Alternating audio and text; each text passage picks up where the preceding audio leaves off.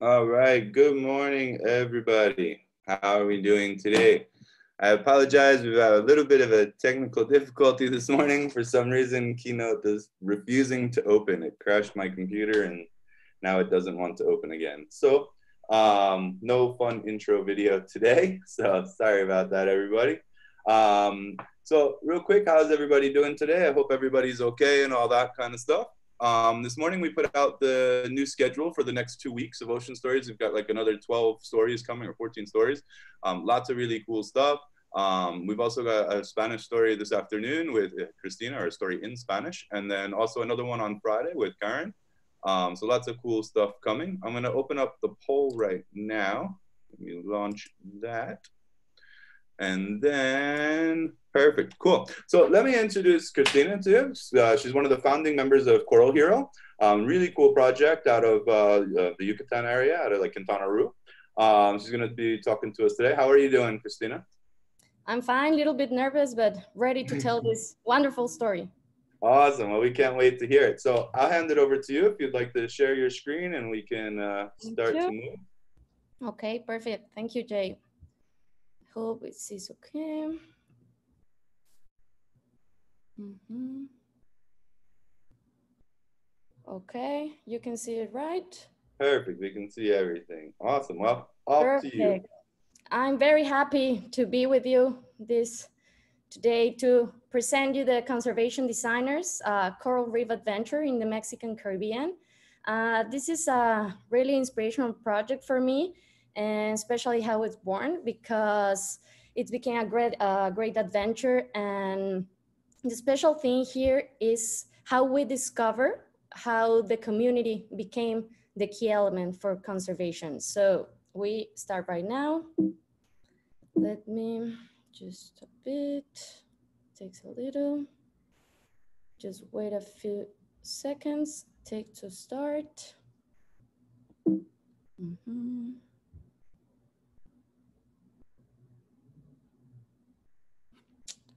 Okay. Just wait a minute because it takes a little bit because Zoom and the presentation, but it will fine.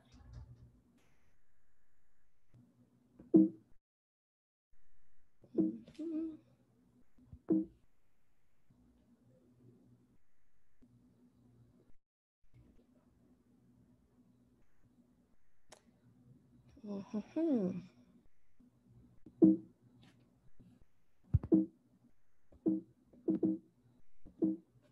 Mm. The presentation is taking a little bit more, but I'll tell you a little bit until the presentation start working. Uh, it starts a project with a slide. Uh, we having problems here in Quintana Roo because of the development and the conservation. So this is was um, our first problem because I'm not an expert. I'm not a biologist. Uh, I wasn't like working coral field, but I was seeing like something was going wrong here. So I want to, I want to uh, wait just a little bit. Try to, mm -hmm. just a minute. Mm -hmm. Let's see if we can see work from here.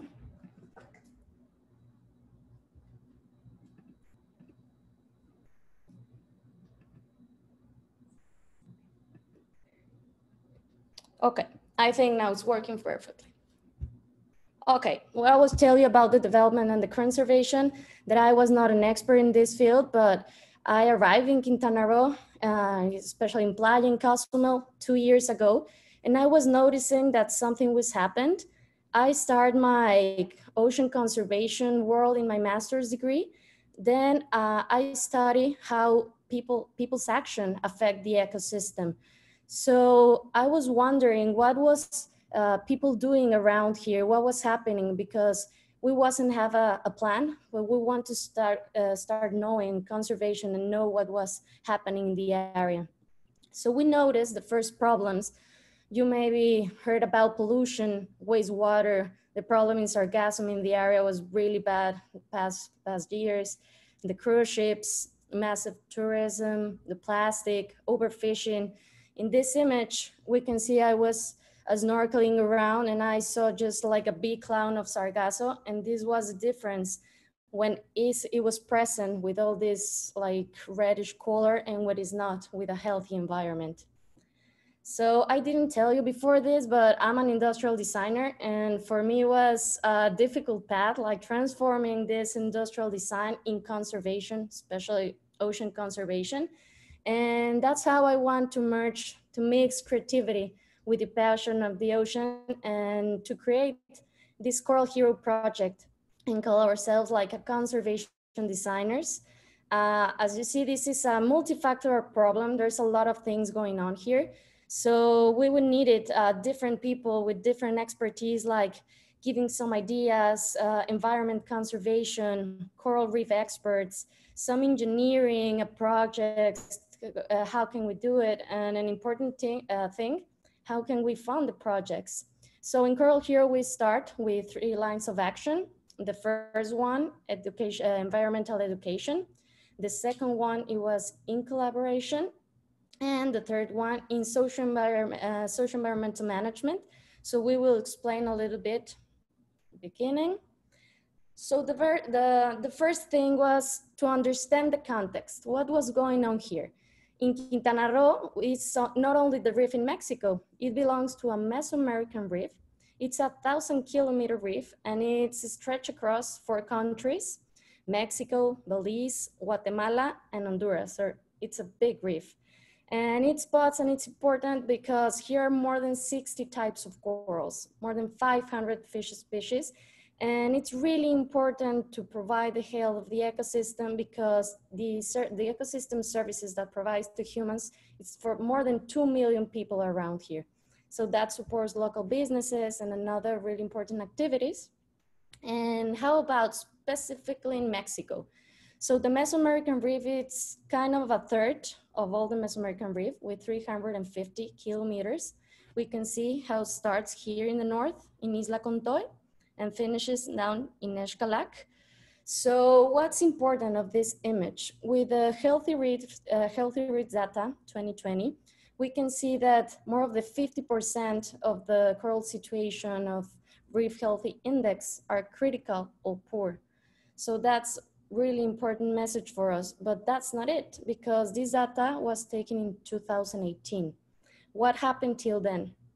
I don't know if you many know this, but in Florida in 2014 starts a coral disease, a really aggressive coral disease that it's called stony coral tissue loss disease. I know it's a little bit complicated name, but it's a, like a white syndrome, like lepers, like just the tissue just fell off of the skin we can see this in corals and this is really really alarming for us because in 40 days we can lose a whole colony so what was happening here conservation action what was going on around um, the ongs the different projects and that's what we discovered that it was some messages but not clear messages. And the most important thing that it wasn't getting to the right people. Maybe the tourism didn't know what was going on, or people, people outside the coastal areas. And most important things that we realized here, that it was too many no's. Don't do this, don't do that. But if I'm a worried human being, what can I do? What action can I implement here to help a little bit to, uh, to have a the healthy of the reef. So this is how we start our first line of action, environmental education. I want to show you our first campaign. So be a coral hero. It's a little simple really. So how toxic is your sunscreen? The exercise is just to take your sunscreen and you have to see the ingredients. The ones in the red zone are the toxic ones and the green zone, the not so toxic. But with this, we want to give a little break to the ocean because too many tourists, too many sunblock and another affectation. So we know that we don't have to use sunscreen, but what can we do? And our lemma here was not all heroes wear capes. Some heroes rash guards. So with this simple action, we can do a lot. And it was a really nice campaign because many people start joining. And I want to, to present the main team here Here is Carlos, he's a doctor. I tell you the different disciplines. Uh, she's Mina, she's a, a, social psychologist. And I was really happy with this campaign because even my mom over here want to become a coral hero. So it was really nice to more people want to send this message. And with these design uh, efforts, we try to do another campaigns because we know we can stop cruise ships or some big actions, but we can do something good for our environment. Like where people put the cigarette butts, it's one good thing to do, or kicking coral because maintaining a good position while snorkeling can help a lot to not kicking or not affecting corals around. So all these design, uh, design efforts give us the opportunity to make a little bit collaboration. So this is the second line of action of Coral Hero. Here we participate with Healthy Reefs in Waters Day in the planetarium in Cancun. We try to do something for kids, for they to know how a healthy reef looks like and a not healthy reef looks like, and to share to some, uh, not only adults, to involve so many people. And another uh, nice approach was with the Tec de Monterrey. It's a university here in Mexico. Uh, as my profession, industrial designer, I want to, to invite these professionals to, to do something for coral conservation because I know there's a lot of things to do. So this workshop was really, really nice, really enriching because we have we had the opportunity to to design some structures for coral reef restoration. So this was only the first step. We want to continue with this. And when unfortunately, white syndrome was advancing really, really fast. Uh, so the question that we were wondering is, what else can we do? We know a little bit of it, of the disease, maybe of the coral problem. So what else can we do to help the corals here in Cozumel? So we join efforts uh, with some divers and some coral lovers. We start asking some questions and fortunately with the Commission, the uh, Commission National Area to Protect Areas, sorry, the CONANP here in, in Cozumel, help us and start giving some, some advices and some opportunities so regular people like us can do extraordinary things the best thing, the first thing that we learned was coral identification, some of the diseases, to know what was going on, and monitoring to be the eyes in the ocean to help to keep, recollect more data and to have more things. So this leads to form a bigger group, a really nice group, Corales Vivos. It's a really, really nice effort. And I feel really happy today to, to speak up for all my friends here because it's an incredible group and Corales Vivos want to, to keep going on. Last year, every Monday was my favorite day because it was diving day with these people. And we learned to, to collect data, to do some, some things that I'll tell you a little bit later. But it's really nice how uh, community, well, not community, but citizen science can really work up this and to help the experts as we was noticing. And we have the opportunity to professionalize a little bit with the help of Barcolab with the University of the UNAM. Um, we start learning more and more sophisticated way to take data. This is a bar drop technique and this is all the team. So thank you to the National Park in Cozumel and to Corales Vivos. We develop a really nice way to, to gather and from this, our dives never be the same. Why? At least for me, uh, this is my personal favorite color, uh, coral. And because once you enter the coral world, I see, I think your dives never, never be the same. It's like they turn the lights up in the reef, like we can see just here. Maybe we see some plants, some rocks, we don't know, but as long as we advancing, knowing and enjoy it, maybe you have some groups, some branching corals or pure, okay, there's something going on right there. And then if you're really lucky, they put names and last name to the corals. So the diving experience, it really, really transformed it. But okay, this was happening and I was wondering what happened with the community here. All people have access to this information or the community, local people know about this, what was going on. So this leads to the third action in Coral Hero, social environmental management. So what was the relationship between the ecosystem conservation and the community? I didn't know much about who, who was doing it the first time here in the Riviera Maya or the Mexican Caribbean and found out with the connection of these diseases with the local community was one step that we need to explore. And by the way, this is Don Jose. He was one of my greatest inspirations for this part of the project, but I will talk about him later. So what about locals? That was a big question for us. Uh, this is a picture I found. It's, I think, like early 70s. I didn't design it or anything. It was just like this. We can see how different the management or the ecosystem, the fishermen, just take the turtle, the lobster, some species here that are protected. It was like an advertisement right here. So I think at some point in our history, we believe that the resources provided by the sea were infinite, but now we know they don't. So what happened here? Uh, this, uh, this was the start of, of a community project because all the work we've been doing till now lead us to Cayo Alcatraz. Cayo Alcatraz is a little island in the north of Cancun that it's uh, a bit with the community of Mar de las Antillas. It's a really, really great place. And this bridge is the first thing you need to, you need to be here then to go to the island. But also this bridge was a real inspiration for me because with this, this little island uh, began my inspiration to begin my PhD degree in sustainable development to know more about the communities, to base the sustainable developments in the communities and start knowing to change the way we manage the coastal resources. So a little bit of Cayo uh, Mar de las Antillas, we notice about the diversity. The first thing that all the ecosystem in the coastal area are connected.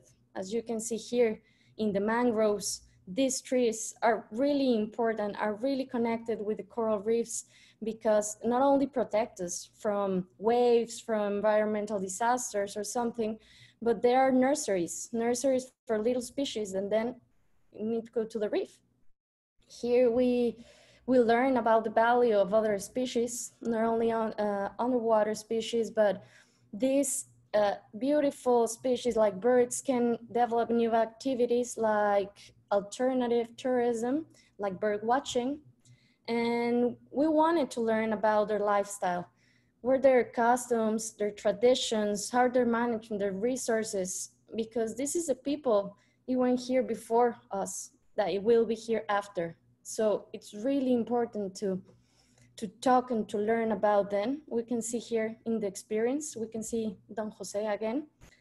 He in his we don't know how many years he have he don't want to to tell us but he want a sustainable island. He want to manage better his resources and he's all willing to start doing. So why don't we us start how can we work together? This was an important question. And thank you for the CONANP in the Mexican Caribbean. In some uh, reserve, a biosphere reserve, Caribe Mexicano. It provides us the facilities to do some workshops, some field work, training with this group, this amazing group, and some experts in their fields as ecosystem management, coral reefs, in community management. We can, uh, we had the opportunity to visit and work a little bit in, in the field with them. And what really, uh, what really we're uh, discovering here was, okay, the ecosystem is damaged. We know that. What else? It was okay. The money, it's an important thing. We have, or they have, or everybody needs to provide its own and its families. But a really important thing here we discovered was like this little here, this all the work that they just drew. It was uh, we missing our families. So we start learning that sometimes fishermen and local people start feeling like left out of the conservation programs or the same society because how uh, how rapid the development is. So we learned that it's really important to here integrate the social component into the conservation of the ecosystems. So here we develop uh, a new uh, concept. I don't know if we develop it, but we love the community science. Why? Because uh, citizen science is really, really important. But here, working with the community to noticing, to uh, bonding, and like to collaborate academia with local communities, we have to to keep the stakeholders together to an important conservation program. Here we can see it's Don Jose again. This was a really nice exercise. Uh, we start like planning with them how they see their future in next year, five years. This was last year, so you can see here Cayo Alcatraz 2020. So what was happening? What was in their minds? So for first of all, to change the way they, uh, the fisheries worked. There's a lot of illegal fishing going on, so it's sort of really worry about the area. But here they want to start uh, their own lobster, um, lobster sustainable fishing, uh, another type of tourism, and especially to keep the bonding between academia and community. And a really nice story over here, it was, he's Nico, he's a member of the community. And he was talking to us. He was telling me that he doesn't speak Spanish very well. So so he started talking in Maya and his how important is for him keep the roots and especially to have the opportunity to participate in this conservation journey. So it doesn't matter uh, if you are above the water or if you are underwater. We notice it in Coral Hero that with the, without the community, there is no conservation. So this is the work we've been doing till now in Coral Hero. And I thank you very much to all of you for listening. And if you have any questions, I'm here. Awesome. Thank you so much for that, Cristina. Really, really great. So everyone, if you'd like to ask any questions or anything like that, you can click the Q&A box at the bottom of your screen and um, type in your questions and we'll read them out to Cristina and uh, get some answers for you. So let's see what we got. Um, First question coming in. Sue says, amazing projects. How effective do you think the efforts are? And are the corals in the area on their way to, a reco to recovery? Uh, we hope in recovery. The white syndrome is not so bad right now, but we have another problem that is bleaching. When the water level, the water heats up, it's an important problem. So we have a lot of factors that we have to to stop, um, like a lot of tourism stuff like that. But coral recovery will take time. We're in the time like we need to stop right now the problems. And the coral world is really small. Some corals world is like one centimeter to 10 centimeters per year. So the recovery we will see in short time. But yes, I think there's a lot of efforts and we can see a little bit of progress. Awesome. Little by little, it's all that matters. Got to make some difference. Yeah. Uh, so Caesar asks, is there a program that includes the care of Mexican coasts and Caribbean Ocean in Mexico? Because in 2000 there was one called uh, Programa de Ordenamiento Ecologico Marino, and there was mm-hmm. one for each marine region in Mexico. Yeah, there's a lot of programs, and there is a natural protect areas each protect area has a, have their own management plans. So in Cozumel, there is one, there is a big one in all the Caribbean Reserve. So yeah, there's a lot of efforts. We can see like here in the link, there's the Conanp Cozumel. This is one, one important efforts. But unfortunately, sometimes they don't have enough funding. So we need to get together and to help to these things happen really. I think for me, is one of the incredible things about living in Mexico or well, living in many places and then ending up in Mexico is there's actually a lot of programs and projects in Mexico working on all sorts of different things. And I find that really beautiful about being here and Mhm. living here is that there's just, there's so much, whether it be, you know, I mean, like the uh, Atlas de Mars with Octavio Aburto and these guys and Mares Mexicanos working all over Mexico in different projects and everything. And then smaller, like more localized projects, like say with Pelagios Kakunja or like what you guys are doing over there and these kind of things. It's just, it's really beautiful to see how many people are really trying to make a difference in Mexico. Mhm. Yeah, it's that's true. Um, so Teresa asks, are the authorities involved at all, and how do we get uh, how do we get more support from them? Yeah, the authorities are involved. Involved. Uh, the CONANP here, the link is the government that it's in charge of the natural protected area. Uh, municipality sometimes it's it's difficult, but it's not impossible. Uh, the most important thing uh, when you want to ask like join or help is not to bring them problems because they know what their problems are. Probably like I need, I have like this action, I need this with specific actions. They sometimes give support. They're sometimes yes, sometimes no. It could be most, but more, but we were trying to get them into the boat. Awesome. Uh, it's really, really good. Yeah, it, it's the same like us with Saving Los Cabos here in Cabo. Is um, you know, if you go at them with just bringing problems and complaining and whining without solutions or anything, you're never going to really get anywhere. You have to be able to, you know, support their efforts and see how they you can work together and mutually, you know, be beneficial for the the natural area. Yeah. Um, awesome. So Pauline asks, do you do any initiatives for replacing or planting new corals similar to what's being done in the Florida Keys, or are those and are those? Do you know if those programs are effective? Uh, there's a program in Cozumel. It's Cozumel Coral Reef Restoration Program. It's led by Dr. German Mendez. He's been doing it for a few years now, and he's like really giving his heart in this project. If you want, I can give you the link. There's projects, but unfortunately, restoration it involves like restoration, the quality of the water. It's restoration of the whole ecosystem. So yes, there's a little action restoring coral uh, actions, but yeah, the restore part, it's bigger than just like put the coral in just a new place. It involves a lot of things. Yeah, it's a, I think that's it's incredible. We're actually here in Cabo. Dive Ninjas has been working with Sea Shepherd to, and also with the guys from Cozumel. They're actually helping design the program um, to build a coral restoration project in Cabo San Lucas in the marine park here. And Mhm. it's uh, it's almost a bit I don't want to say shocking, but it's, it's surprising how much work has to actually go into setting up these farms and like being able to to do it and everything. I think it's you know, it's a great initiative. It's incredible. Um, but I think the other side of it too is is slowing down, like stopping the the damage being done before and all that kind of stuff instead of trying to fix it after. I think it's uh, we need both parts to be you know working together to you know fix what's already destroyed, but also stop more damage being done and all that. Like the stuff what you guys are doing and everything like that is massive. You know I mean? It's it's a great thing. Exactly. Mm-hmm.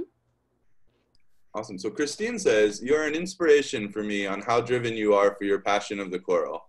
I live in the US by the Atlantic Ocean in Delaware. How could I go about starting uh, coral conservation projects in my area? Uh, it depends because we can all help. I'm an industrial designer and I'm doing my part here. It depends what you want to do. I think it's really important what you like to do. And uh, integral project, a conservation project needs a lot of things. If you are a lawyer, if you are a publicist, if you are whatever the field or expert to field you, it's a perfect way to give your expertise. If you are a diver, of course you can do more. It depends of your possibility and your passion and you can do it. It's just like come from your heart and that's it. That's awesome. Um, uh, Teresa asked uh, also, how can we get to get, get together with USA and Mexico Marine research teams? Oh, that's a difficult one. I I never had contact with um, marine specialists like a reserves over there. I would love to. If anyone have a contact, I really would love to. But I think here people really want to learn. All my friends, all my buddies that we're diving together, we want to learn more and more. And our opportunities sometimes are just to be online or to get the information wherever we can. So if we can make this happen to share some experiences, like we want, of course, we want to go there. If you want to come here, that can be of course arranged. But yeah, if you have the contact, please, please let me know. awesome. Um, so Jessica asks, how can we help your group? Uh, she says, I'm an advocate and conservationist as a profession. I'm happy to volunteer virtually via remote support or to support your great work. Um, what can others do to get involved with your project and help out the project? Uh, well, it depends. If you want like just to share information and to inform your local community, that's great if you want to come uh, here and start like scientific diving or something like that, of course we can connect. Uh, there's a lot of people working in that, like Dr. Germán. He's giving a two days or four days course about coral restoration. So it's really nice. Or if anyone really can volunteer or help or something, please, here's our page and our social media. You can tell us your, your, what you want to do. And of course we can arrange something. Awesome. Tanya says, thank you for your presentation. What are the challenges Coral Hero faces when working together with, the academia, the community, or government institutions? I think a really big issue in beginning this is was like academia and community.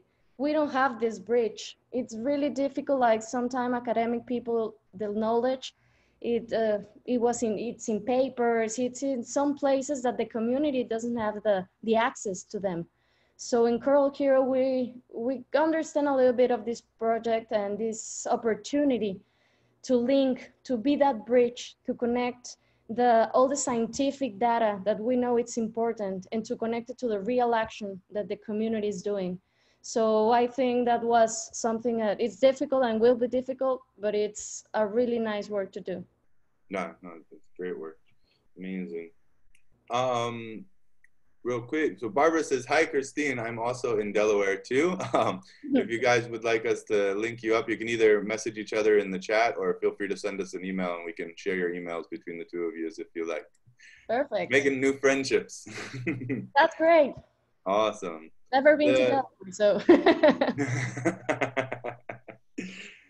um, Edgardo says, great presentation and initiative. No, no question, just uh, saying that you did a great presentation and likes your initiative. Um, Tanya asks, how do you feel your preparation and perspective through your industrial design degree inspired or prepared you to do the work you do now? Wow, that's a good question. I think I was really not angry with my profession, but I was like, what to produce more, to produce more. And that's industrial design. And I don't take the part to develop products, but just the, the way they think. Sometimes the way the, um, the normal projects are structured, the way they're taking, it's like a same line. I think as an industrial designer, I can integrate more. I can be a little bit out of the box and in the designing process, some always you have to think like circular. Like if you are developed something, you want to use it and you don't like throw it away. You need to think about how you reuse this. So create circular proposals. So I think this is the way I can use it in, in Coral Hero. Like it's not about tourism to go to the ocean, to dive and that's it. We want to give it back to the ocean, to the resources, so we can circular the way we, we think and we develop projects. No, it's incredible. It's the same. My background is in graphic design and advertising, is where I, I started and everything. And, and I find that it, it helps a lot because you see things in a, a, different light than most people will, um, especially say people that are more in like mechanical sides or scientific sides. They see this more straightforward, kind of step by step by step, and we're more looking at not just what's ahead, but what's here, what's over here, and how can this all come together and be a more holistic approach to trying to work on things. That's true. That it's um, very, very uh, great. You know I mean? Like it definitely is benefits.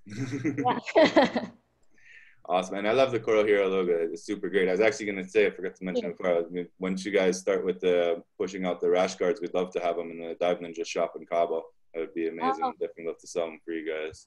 We will send you some. Promise. Awesome. Looking forward to having them in the shop. Perfect. Um, so Ernesto asked, I'm going to translate it because it's in Spanish, but he says, excellent presentation, Cristina. Um, they are divers that live in Merida in the Yucatan, and they're wondering how they could help your, their, your, project, uh, your project. They're underwater photographers, and they really want to help to save and protect the reefs in Mexico. Awesome. Okay. Uh, we're working with uh, groups. We call him here cooperativas. I don't know the specific names, but are the different groups in the community in Quintana Roo. They're like working together and we start working with uh, some others here in Quintana Roo. So I don't see any problem. If you give us like the name where, where there we, we can see the, of course, they're the ecosystem if they want to do something there, or if you want to come here, there's always needed help, especially divers, photographers, yeah we want to i think a really important thing is what we don't know. We it's difficult for us to involve and conserve. So maybe so uh, social media photograph videos are really important thing to do to share this message. So yes of course all the help we need. Awesome. great. In one second i'm actually gonna I'm gonna just pause for a second. Cristina, well, two things. One, there's the Dive Ninjas is doing a, a, coral conservation course this weekend. Some people had asked about it, so I'm just gonna post the link in the chat in case anyone wants to check it out.